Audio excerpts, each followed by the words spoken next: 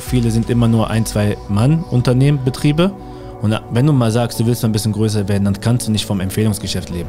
Der Handwerker hat immer so eine kleine Krankheit. Ich muss immer alles jedem recht machen und muss auch immer Ja sagen, weil bloß mich keiner irgendwie hier vom Kopf stoßen äh, soll. Ein Handwerker mit einer Mission. Das Handwerk zu stärken und die Jugend wieder fürs Handwerk zu begeistern. Willkommen beim Handwerksschmiede-Podcast mit Liborio Manciavillano. Wenn du dich für das Handwerk und für das Unternehmertum begeisterst, ist dieser Podcast genau der richtige für dich. Hier reden wir über Themen, die das Handwerk bewegen und Liborio teilt mit dir sein Wissen aus über zehn Jahren Unternehmertum im Handwerk. Herzlich willkommen zu unserem Podcast heute. Ein waschechter Handwerker, mag ich zu bezweifeln, nein. Der Alex ist ein waschechter Handwerker, Stuckateur mit dem Potenzial zum Unternehmer und äh, mit Vielseitigkeit auf jeden Fall auch. Das kann nur hoffentlich heute, wenn du nicht so viel redest, ein überragender Podcast werden mit uns beiden. Alex, ich freue mich riesig, dass du dabei bist, ähm, aber erzähl du mal ein bisschen was. Erstmal vielen lieben Dank für die Einladung, Sehr für dieses geile Intro. Auf jeden Fall vielen, Sehr, sehr vielen Dank. Ja, ich bin der Alessandro Aquila, Geschäftsführer von der Konzeptbau GmbH aus Solingen. Ähm, wir sind ein Stuckateurbetrieb, ähm, haben uns halt spezialisiert jetzt auch durch die Handwerksschmiede auf ähm, Innenputz, Außenputz und Fassade. Ähm, haben zurzeit sechs Mann, sind gerade voll im Wachstum und äh, wollen dieses Jahr auf jeden Fall noch drei Leute einstellen. Bewerbungen kommen auch sehr viele rein und äh, auf jeden Fall auf einen echt geilen Weg und wie gesagt, ich freue mich echt hier zu sein. Ich freue mich auch, dass du da bist. Ähm, du bist ja jetzt seit rund einem Jahr bei uns als Partnerbetrieb Genau. ähm, gelistet und hast einiges umgesetzt ähm, in dem letzten Jahr. Nicht genug, meiner Meinung nach, aber einiges schon, um deinen Betrieb ja nach vorne zu bringen. Was war so für dich in dem letzten Jahr der absolute Gamechanger ja, mit der Handwerksschmiede zusammen? Also das ist eine Sache, die ich eigentlich gar nicht auf dem Schirm hatte und das ist, muss ich echt sagen, es ist, als das halt präsentiert ist, die Tagesleistungspauschale. Das war halt, seitdem wir das eingeführt haben, hat sich gewisse Sachen einfach um 100% gewandelt. Erklär doch mal aus deiner Sicht, was ist denn eine Tagesleistungspauschale? Weil viele unserer ähm, Zuhörer oder Zuseher wissen gar nicht, was so eine Tagesleistungspauschale ist. Also Tagesleistungspauschale ist im Prinzip ein Auftrag, der halt genau ein, also nicht genau einen Tag dauert, aber halt sozusagen ein, ja, ein Tagesauftrag, was eigentlich schon das Wort im Prinzip, ja, es ist ein bisschen schwer zu erklären. Also nicht schwer, eigentlich ist es relativ einfach, nur, ähm, ja, wie soll man es nennen? Ich. Tagesauftrag, Ich ja, gerne. Okay. Also eine Tagesleistungspauschale. Warum habe ich bei mir im Betrieb eine Tagesleistungspauschale eingeführt? Es ist doch so. Wir müssen mit unserem Betrieb ja einen gewissen Umsatz am Tag machen. Also wir wissen, okay, wir haben so und so viele Mitarbeiter, so und so viele Kosten mit Autos, Versicherung, allem Zip und Zap. Und unsere Mitarbeiter, wenn sie rausfahren, müssen einen gewissen Umsatz machen. Jetzt bin ich damals auf die Idee gekommen, was heißt Idee, dass wir für Kleinigkeiten, wo ich quasi nicht auf meinen Mindestumsatz komme, eine Tagesleistungspauschale ansetzen. Was heißt das? Also, ich nehme mal ein bestes Beispiel. Der liebe Robert Nakielski, bodenständig Parkett. Geiler Betrieb, macht Millionen Umsätze, ist aber immer wieder so für Kleinigkeiten rausgefahren. Das heißt, der Kunde hat angerufen, der macht quasi so Parkettböden, Leisten, solche Geschichten. Ja, richtig akkurate Arbeit. Geiler Betrieb. So, und dann ist er mal rausgefahren und wir hatten ja bei dem im Betrieb festgestellt, okay, wo bleibt eigentlich zu wenig Kohle hängen? Und dann hat er mir erzählt, ja, wenn ein Kunde anruft und er sagt, hör mal, ich will hier einen Meter Leiste ausgebessert haben. Dann fährt er hin, bessert diese 50 Zentimeter Leiste aus und rechnet dafür dann irgendwie 90 Euro ab. So, jetzt bist du aber hingefahren, du hast das Auto geparkt, warst beim Kunden, hast mit dem gesprochen, wir haben Spritkosten, wir haben Versicherung, wir haben dies und das. Und wenn du jetzt für 90 Euro den Meter rausfährst, dann kannst du ja eigentlich nur ein Minusgeschäft machen. Genau. Und dann habe ich gesagt, okay, pass auf, ähm, lass das doch so machen, egal was du da eigentlich vorhast, dass du quasi mit einer Tagesleistungspauschale arbeitest. Du kannst aus einer Tagesleistungspauschale eine halbe Tagesleistungspauschale machen, eine Viertel Tagesleistungspauschale machen. Wie setze ich das um bei der Firma SRS? Kunde ruft an und sagt, hören Sie mal, äh, Firma SRS, ich brauche zwei Meter Horizontalsperre. Zwei Meter Horizontalsperre mit einer Baustelleneinrichtung, ein bisschen vorarbeiten, liegen wir irgendwo bei 550 Euro. Ja? Jetzt kann ich meinen Mitarbeiter zwar dahin fahren lassen für einen halben Tag, aber der Tag ist eh für, wie soll man das nicht ausdrücken, für einen Arsch, ja? Ja, ich argumentiere halt immer so, wenn ich jetzt fünf, sechs Stunden auf einer Baustelle bin, fährt der Mitarbeiter ja nicht nur auf eine andere Baustelle raus, bis der mal da Richtig. ist. Die ganze Zeit, die ist einfach verloren. Ich habe bei mir äh, bei SAS erkannt, okay, wir müssen am Tag mit zwei Mann mindestens einen Umsatz von 1480 Euro machen. Ja, das ist meine Tagesleistungspauschale. So, jetzt muss ich nur zwei Meter Sperre machen und der Kunde, äh, und wir kommen nur auf 600 Euro. Das ist Minusgeschäft für mich. Und dann habe ich gesagt, pass auf, alles, was unter den 1480 Euro ist, rechnen wir immer mit einer Tagesleistungspauschale ab. Also mit 1480. Da habe ich richtig Spaß dran. Warum? Weil wir gutes Geld damit machen. Ja? Wenn der Kunde, und das kommt ja auch mal vor, sagt der Kunde, hör mal zu, nee, das ist aber viel zu teuer, dann soll er das einfach irgendwo anders machen. Wenn er uns beauftragt, macht das für uns Spaß und er hat eine optimale Arbeit. Und deswegen habe ich zum Beispiel so eine Tagesleistungspauschale eingeführt. Sag mir doch mal, bevor du mit diesen Tages... Jetzt haben wir einmal erklärt, was eine Tagesleistungspauschale Ich würde ist. aber War gerne noch so mal schwer. gleich auch auf die noch andere Vorteile, die man halt nicht nur wegen dem Preis hat, sondern doch mal ab, ich stelle dir doch noch ein paar Fragen, Junge. Ja? Du brauchst nicht flüstern. Alles gut. das ist hier Real Talk. Guck mal, steht doch da. Ähm, sag doch mal, wie hast du vorher abgerechnet? ja, bei Kleinigkeiten ganz simpel, man fährt hin, kalkuliert gegebenenfalls noch eine Anfahrt mit rein, schreibt die Stunden auf, muss dann gegebenenfalls sogar noch die Stunden vom Eigentümer oder vom Mieter etc. unterschreiben lassen, hat halt so eine riesen Zettelwirtschaft und äh, ja, und dann ist dann halt die Frage immer, fährt er noch woanders hin, fährt er nicht woanders hin, wie berechne ich die Zeit dann noch und das waren meistens Minusgeschäfte und dann halt auch sehr oft, dass man diese Sachen halt komplett absagt und gar nicht mehr annimmt. Wie sieht das jetzt aus bei dir? Ja, jetzt sieht es halt aus, äh, dass ich für ein Angebot, wenn ich mir so gewisse Sachen angucke, ich brauche für ein Angebot fünf Minuten. Ist immer das Erste. Zweitens ist, ähm, ja, es ist für mich halt lukrativer und ich nehme halt auch kleinere Sachen an. Und dadurch freut sich halt der Kunde überhaupt, dass überhaupt jemand mal rausfährt für gewisse Sachen, überhaupt für gewisse Arbeiten. Und dann ist es ja eigentlich eine Win-Win-Situation so für beide Seiten. Und vor allem, was ich halt jetzt auch gemerkt habe, weil wir größtenteils auch außen arbeiten, muss zum Beispiel nicht auch immer ein Kunde da sein, die Stunden absegnen. So bekommt er eine feste Pauschale, ob ich jetzt extrem gesagt eine Stunde da bin oder ob ich 23,5 Stunden da bin. Es ist Zahlt immer der gleiche. Preis. Richtig. Und da ist der Kunde auch auf der sicheren Seite. Und was halt auch früher oft war, wenn man dann jetzt ein Angebot gemacht hat, der, das vielleicht irgendwie so einen Tag geht, hat man auch immer so gespielt mit circa. Das heißt, der Kunde wusste auch nicht, sind es jetzt fünf Stunden, sind es sechs Stunden, sieben Stunden und so vor allem, was du auch vermeidest, einfach der Streit zum Schluss. Ja, diese nachträglichen Diskussionen, jetzt waren sie Richtig. doch nur dreieinhalb. Stunden da, jetzt waren sie, Richtig. aber ich war viereinhalb Stunden da, aber ich habe das doch gemacht und ich habe jenes doch gemacht. So können wir dem Kunden ja gewährleisten, hör mal zu, ich fahre jetzt einen halben Tag raus, das ist der Preis mit Material, mit Genau, allem Zip genau, und genau. Zap und das ist ein Festpreis. Wenn du dich dann verkalkuliert hast, ist das natürlich dein Problem. Ja, Richtig. Ganz oft kannst du das natürlich aber auch als Fachmann ganz schön ähm, gut ein, ähm, einschätzen. Was haben oder was haben Tagespauschalen bei dir im Tagesgeschäft verändert? Also ich sag mal im Tagesgeschäft, gerade in der Winterzeit, wie wir alle wissen, ist ja immer ein bisschen so etwas ruhiger, kommen mehr kleinere Sachen und dass man die einfach dann alle mitnehmen kann. Früher hat man die einfach links liegen gelassen, weil man hat gesagt hat, okay, so da verdiene ich jetzt nur 200, da sind nur 100, das lohnt sich einfach nicht, es ist nicht wirtschaftlich. Oder man nimmt dann Sachen an zum Schluss, wenn man sagt, äh, ja, jetzt Hauptsache die Jungs, die Jungs stehen nicht rum, aber es war halt dann trotzdem negativ. Und das ist halt, dass ich den ganzen kleinen Kram in Anführungszeichen jetzt mitnehme und dadurch sogar relativ lukrativ.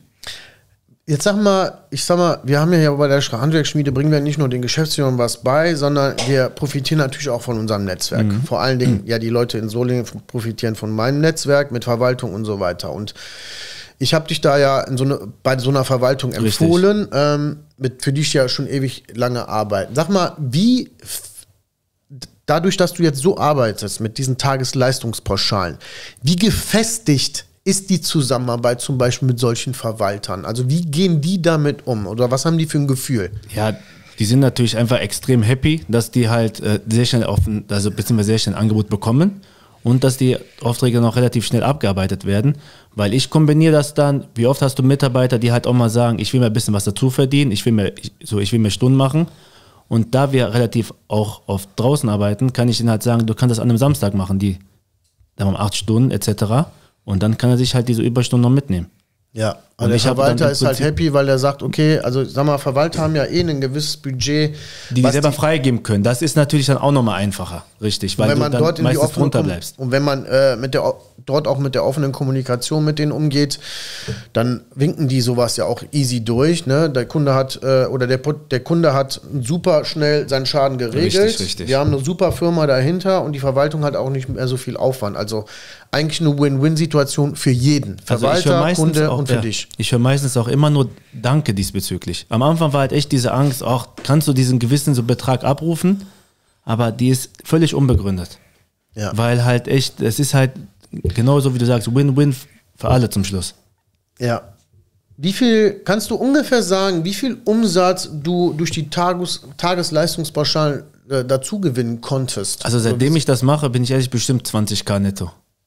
Krass. Ja, also Geil. das ist, äh, habe ich auch ein paar Mal schon intern so euch jetzt mitgeteilt. Also ich hau bestimmt pro Woche zwei, drei Stück raus. ich meine, wir beide diskutieren ja auch sehr oft. Und bevor du, bevor du äh, mir auch etwas glaubst, äh, musst du halt dreimal rückwärts. Ja, ich war halt als in der Hinsicht, ja, unglaublich. Als, als ich dir das das erste Mal vorgeschlagen habe, erzähl doch mal unseren Zuschauern hier, ja. ja, was für ein Gefühl hattest du dabei und was hast du damals zu mir gesagt? Ja, also ich dachte mir, also man kommt natürlich immer mit dem Argument, ja, das kann man in meiner Branche nicht machen. Ja. Ne? Und ich dachte halt, ah, dieser Preis, du hast einen an der Klatsche. Sorry. Ja. Aber es ist halt echt, dass man halt, aber zum Schluss ist es halt auch noch eine gewisse Art Service, die man halt noch dazu gibt. Und ich finde, dann ist der Preis auch gerechtfertigt. Also hatte der Dibo recht. Das darfst du ruhig sagen. Das muss ich jetzt, okay, Darfst Dibo hatte recht. Ja, sehr gut. Finde ich gut. Hat der Einsatz deine Effizienz und Planbarkeit auch verändert mit diesen Tagesleistungspauschalen? Ja, natürlich. Gerade wenn man, weil es gibt ja immer Baustellen, schließen ja nie hundertprozentig aneinander an.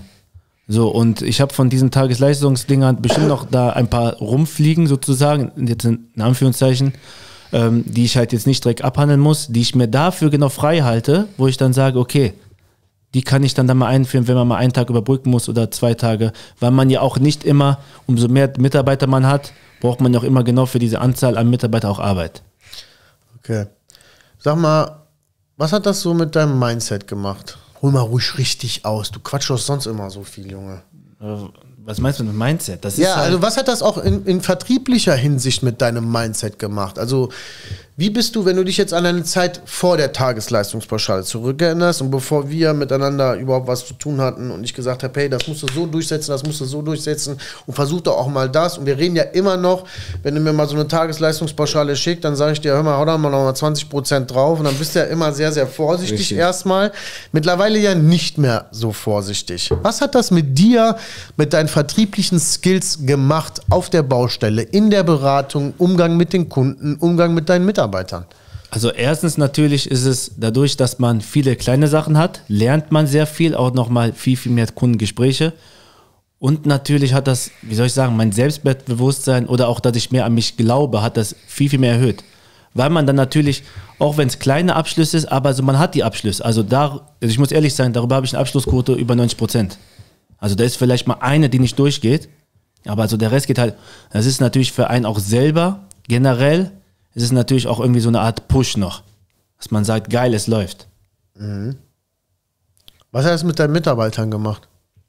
Wissen die das, dass da so eine Tagesleistung angeboten wird? Die wissen das und die freuen sich, weil die dann manchmal, also am Anfang fing es halt an, wie ich muss nichts so abzeichnen lassen, wie ich kann gegebenenfalls auch mal um äh, 13, 14 Uhr dann nach Hause fahren, wenn ich damit durch bin. Weil ich sage denen, das und das und das muss gemacht werden, beziehungsweise es wird, es wird vorher kommuniziert. Und dann sage ich, solange wie du brauchst, brauchst du. Und das ist natürlich dann für die auch mal so eine Art Goodie, wenn die dann mal sagen, wir können mal früher nach Hause gehen. Geil. Und kriegen halt dann den ganzen Tag bezahlt. Also sagst du, das hat schon was mit deinen Mitarbeitern auch ja, gemacht? Ja, also auf jeden Fall. Ja. Also es Aber ist mittlerweile, dass ich jetzt explizit danach gefragt werde, wann ich denn mal, wann ich denn mal wieder eine so vergebe. Okay. Aber ich mache das halt immer verteilt, weil ich halt alle gleich behandeln möchte. Jetzt ist ja auch dein Vater in deinem Betrieb. Richtig. Das sind jetzt Fragen, die gar nicht hier draufstehen. Ja, ist ja nicht schlimm. Ich mach das einfach gut. jetzt. Ne? Jetzt ist ja dein Vater äh, auch in deinem Betrieb. Der hat, im, der hat die letzte Tagesleistungspauschale gemacht und der musste zum Beispiel, nur ganz kurz hier, sorry, jetzt fange ich an zu labern. Ja. Ähm, der hatte zum Beispiel noch privat was Wichtiges zu tun an dem Tag.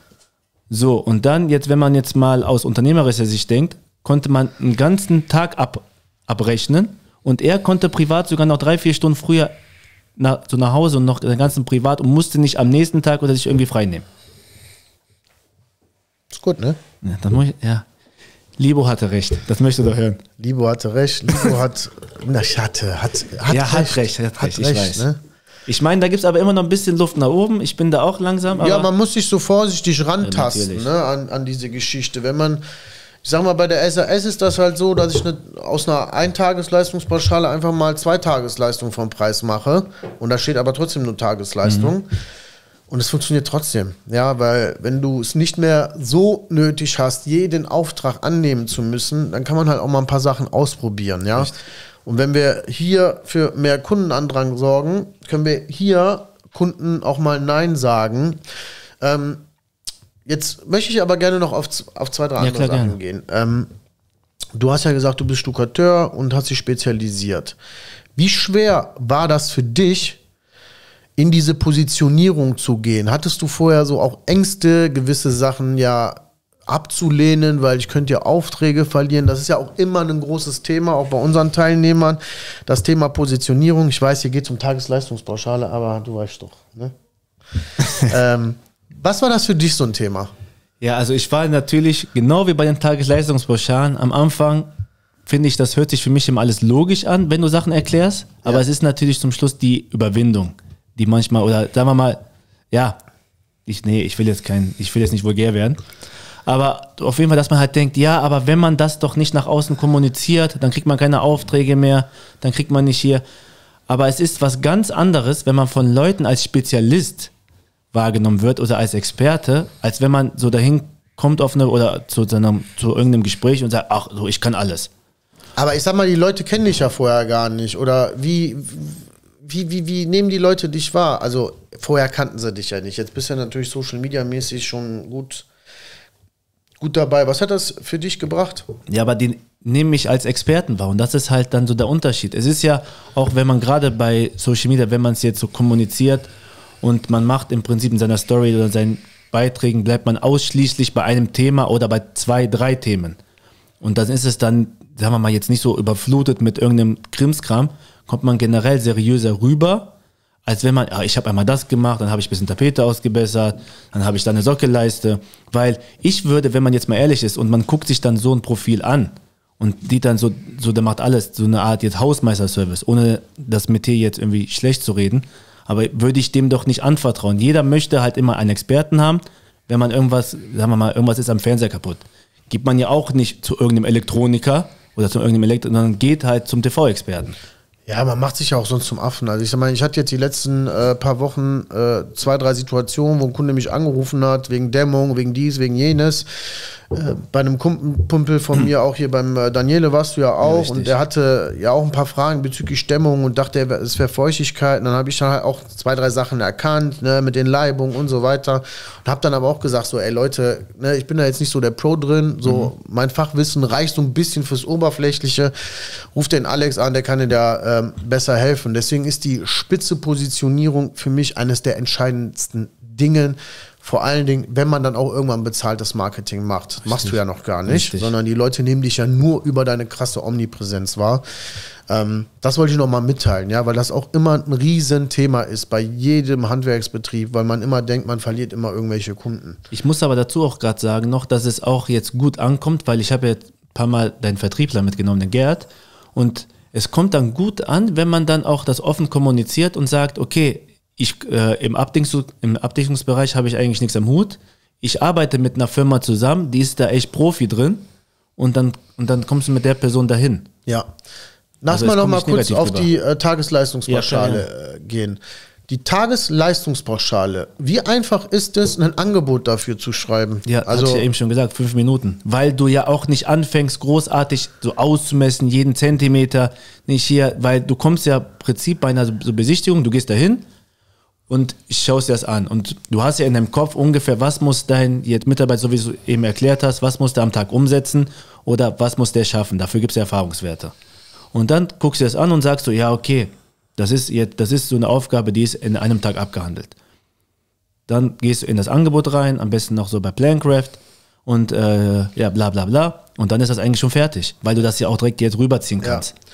Liebe Leute, versteht das natürlich nicht falsch. Du kannst nicht alles eine Tagesleistungspauschale machen, ja. Aber ich sag mal, wenn du genau weißt oder in deinem Betrieb ausgerechnet hast, okay, ich muss den und den Umsatz im Monat schieben. So, und ein Kunde fragt eine Kleinigkeit an, wo du nicht über diesen Tagesumsatz kommst, dann unbedingt eine Tagesleistungspauschale machen. Das ist eigentlich schon Podcast schon viel zu wertvoll. Aber wir machen ja hier Real Talk und Richtig. wir hauen hier natürlich guten Content raus. Ähm, deswegen ist so eine Tagesleistungspauschale bei mir war das der absolute Gamechanger. Bei einigen Partnerbetrieben, die das jetzt auch wirklich umsetzen, war das der absolute Gamechanger. Nicht nur umsatztechnisch, sondern von der Struktur her für die Mitarbeiter. Mitarbeiter müssen mehr nicht so viel nachpflegen, sondern ja, man schickt ein, zwei Fotos rein, Baustelle fertig Richtig. und das Ding ist erledigt. Man kann sogar die Mitarbeiter, auch wenn sie um 14 Uhr Feierabend haben, sogar den Tag voll bezahlen, weil du den ja auch voll bezahlt Richtig. bekommst. Also jeder hat eigentlich nur einen super geilen Vorteil daraus und auch nicht nur wir als Betrieb, sondern der Kunde, also der, der Endkunde und der Verwalter oder Architekt kann auch sicher sein, hey, pass auf, ich habe den Preis, der wird abgerechnet, mehr kommt da nicht zu. Worst-Case-Szenario quasi. Aber es sind ja auch nicht immer, wo man sagt, also kommt vielleicht jetzt falsch rüber, aber es sind ja keine, es sind ja auch jetzt keine Mini-Aufträge in der Hinsicht, dass man sagt, okay, ich äh, jetzt besser einen Fleck aus und nehme dafür eine Tagsleistungspauschale. Es sind ja echt, ja, äh, ja, es sind ja echt Aufträge, wo man echt einen Tag mehr oder weniger dran ist. Und mhm. dafür ist es halt extrem gut. Sehr gut, mega, mega, mega, mega. Ähm, würdest du das anderen Handwerkern empfehlen? Eigentlich dürfte ich, müsste ich sagen, nein. Warum aber nicht? Nein, nein, um, Hallo. um nicht meine Position zu verlieren. Nein, ja, Spaß. Gut. Also Natürlich Position würde ich verlieren sowieso nicht. Nein, klar würde ich es anderen Leuten, weil du hast es auch mir beigebracht. Und natürlich würde ich das auch anderen Leuten empfehlen, weil es einfach klappt, weil es funktioniert. Keine Angst davor haben, es funktioniert. Und zum Schluss kann jeder Betrieb ja für sich selber entscheiden, wie viel muss er am Tag umsetzen bzw. einnehmen. Dass ich das mal aus deinem Mund höre. Ich, ich, ja, das ich, machst du jetzt aber nur, weil wir hier gerade Podcast ja, machen. Und weil ich hier was zu trinken bekomme von dir. Ja, Kranwasser. Nein, ich. Ich habe Sprudel, du hast nur Kranwasser. Nein, ich gebe dir auch mittlerweile ja recht. Und ich bin halt ein sehr skeptischer, weil ne, jetzt schon sehr viel erlebt in meiner ganzen Karriere, Anführungszeichen. Und auch ein paar Mal die falschen, sagen wir mal, ähm, Lösungen eingeschlagen. Und deswegen immer so ein bisschen skeptisch gewesen, aber da ist auch manchmal Vertrauen einfach wichtig. Für mich gibt es nichts Schlimmeres, als einen Handwerksbetrieb zu haben und nur auf die Bedürfnisse anderer zu gucken, sondern wir müssen erstmal auf uns schauen, wir müssen gucken, dass unser Betrieb gut läuft und am Ende, was die anderen davon halten, was die anderen davon denken oder wie die anderen das sehen, spielt gar keine Rolle. Und der Handwerker hat immer so eine kleine Krankheit. Ich muss immer alles jedem recht machen und muss auch immer Ja sagen, weil bloß mich keiner irgendwie hier vom Kopf stoßen äh, soll. Ich sag so, wenn du immer Ja sagst, kannst du ganz oft dein Ja nicht halten. Richtig. Ja, deswegen müssen wir auch mal Nein sagen zu gewissen Sachen, um dann mal unser Ja zu halten. Ja, das ist ein ganz, ganz wichtiger Punkt. Und der Handwerker hat immer so eine Krankheit, na ja, ich mache es immer allem recht. Ich bin auch bis 20 Uhr erreichbar. Sie können mich auch sogar in der Nacht anrufen, so nach dem Ja, aber Auto. da ist auch, jetzt sorry, dass ich nochmal interveniere, aber das ist auch so, weil ich jetzt erst so gelernt habe, dass ich auch einfach mal mein Handy weglege. Vorher, ich war noch am Wochenende, weil man halt immer, ja, aber es ist echt das, was du sagst. Man will es einfach jedem recht machen, man hat Angst, Sachen zu verlieren, aber die Leute so verstehen aber das. Aber was ist das Schlimmste, was passieren kann? Dass er am nächsten Tag anruft. Richtig. ich weiß. Ich also weiß. schau mal, ich habe ja bei mir bei SAS eingeführt, wir sind in meinem Handwerksbetrieb nur von 10 bis 15 Uhr erreichbar, Telefonzeit. Ja. Früher, als ich alles alleine gemacht habe, war ich von halb sieben morgens bis 20 Uhr abends erreichbar. So auch Aber nur für meine Kunden, für meine Frau nicht. so, weißt du, was ich meine? So, und irgendwann habe ich gesagt, so, Alter, wieso muss ich denn immer für jeden erreichbar sein? So, das ist eigentlich scheiße. So, und jedes Mal, wenn ich eine Verwaltung angerufen habe, waren die nicht erreichbar. Die hatten Sprechzeiten. Und habe ich gesagt, ja, aber guck mal, ich will jetzt was von denen. Jetzt sind, haben die Sprechzeiten. Wenn ich wirklich was von denen will, dann rufe ich auch am nächsten Tag an. So, und wenn jetzt ein Kunde bei mir um 15.05 Uhr anruft, dann kommt der Anrufbeantworter. Lieber Kunde, wir haben Sprechzeiten von dann bis dann. Wenn Sie was von uns wollen, schreiben Sie uns gerne eine Mail oder rufen Sie am nächsten Tag an. 50% der Kunden rufen gar nicht mehr am nächsten Tag an, aber Nicht, weil sie das scheiße finden, sondern weil sie uns einfach nur nerven wollen. Ja, richtig. Ja, Das die wollen einfach irgendwelche Fragen stellen, die wollen einfach immer irgendwelchen Input. Aber am Ende geht es ja darum, dass wir Aufträge generieren. Das heißt, so merzen wir ja auch die Kunden aus, die uns ja eigentlich nur nerven wollen. Ja, deswegen kann ich jedem nur empfehlen, führt Sprechzeiten ein. Also wir arbeiten nicht nur von 10 bis 15 Uhr. Meine ich Mitarbeiter sind auch schon, was da, meinst. aber die können halt auch mehr am Unternehmen arbeiten, die können gewisse Sachen einfach in Ruhe machen, ohne dass ständig das Telefon klingelt.